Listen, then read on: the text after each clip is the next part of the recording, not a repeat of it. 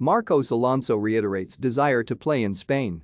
Chelsea defender Marcos Alonso has reiterated his desire to return to La Liga amid interest from Barcelona, although he insisted he is happy at Chelsea. 90 Min understands Alonso has informally asked to leave Chelsea after six trophy-laden years at Stamford Bridge, although he has stopped short of submitting a transfer request.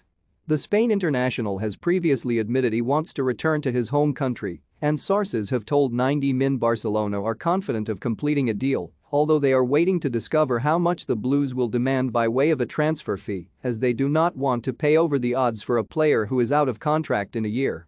Speaking to Onda about his situation while away on international duty, Alonso said.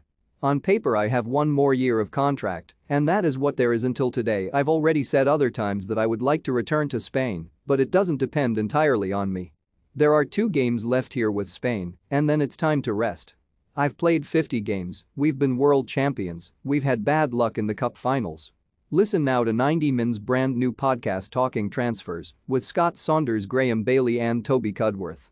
This week, Harry Symeou steps in for Scott, and the trio discuss the futures of Bukayo Saka, Rafael Leo, Romelu Lukaku, Kalvin Phillips, Youri Tielemans, Alexander Zinchenko, Raphinha, Gabriel Jesus, and more. I can't complain about anything at Chelsea, but the desire to play in Spain is there. It doesn't depend entirely on me, and I'm happy at Chelsea, I'm sincere. 90 Min understands that Emerson Palmieri who impressed on loan at Lyon last term will be welcomed back to the club in pre-season to provide depth and competition to Chilwell on the left side of defense.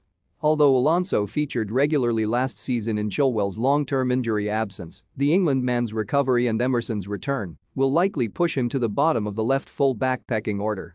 For more from Christian Davis, follow him on Twitter